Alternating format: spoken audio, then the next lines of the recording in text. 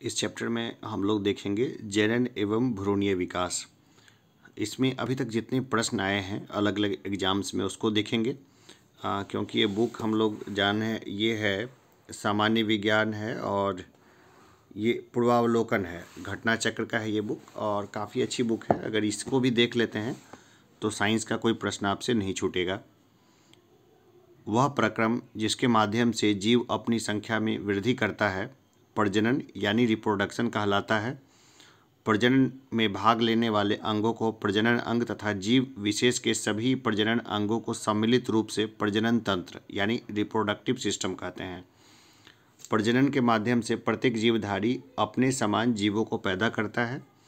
मानव भी अन्य कशेरुकियों की तरह एक लिंगी यानी यूनिसेक्सुअल होता है।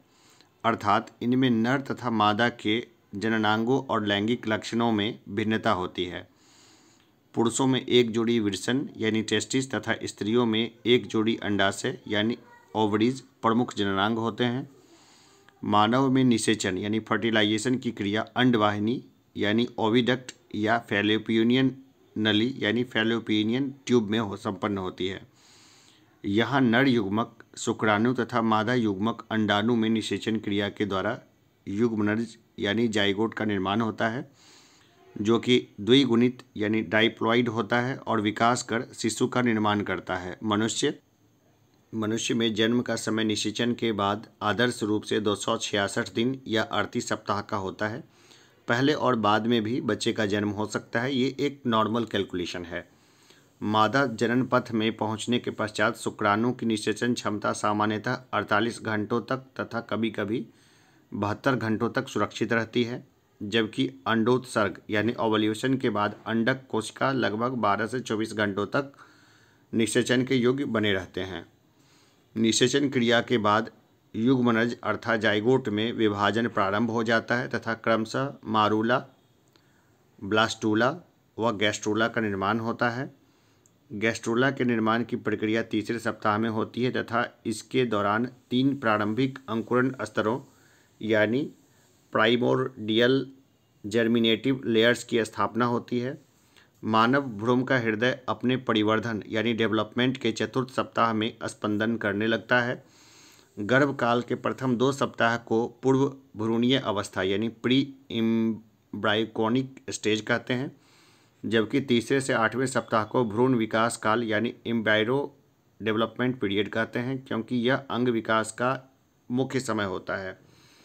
तीसरे सप्ताह से जन्म तक के समय को भ्रूणकाल यानी फोइटल पीरियड कहते हैं, जिसमें उत्तकों तथा अंगों का परिपक्वन तथा शारीरिक वृद्धि होती है।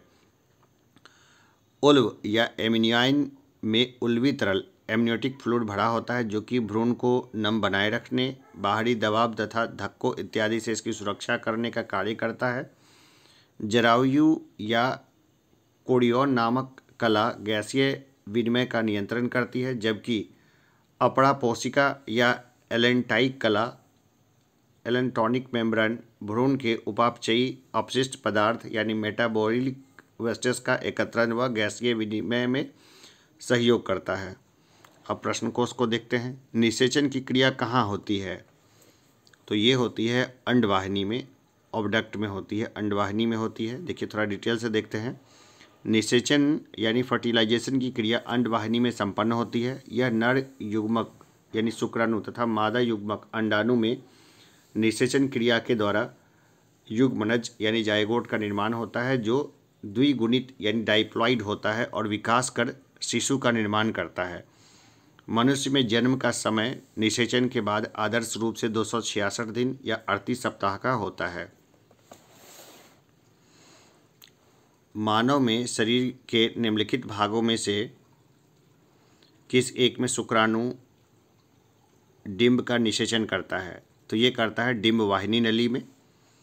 पुरुष का शुक्राणु महिला के डिम्ब ओवम को डिम्ब वाहिनी नली यानी फेलोपिनियन ट्यूब में निषेचित करता है।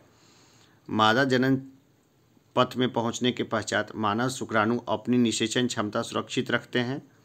एक से दो दिन के लिए वो सुरक्षित रखते हैं। इसके बाद वो अपने आप वेस्ट हो जाते हैं। इसके बाद कोई काम के नहीं रह जाते वो। मादा जनन पथ में पहुँचने के पश्चात शुक्राणु की निषेचन क्षमता सामान्यतः 48 से बहत्तर घंटों तक सुरक्षित रहती है।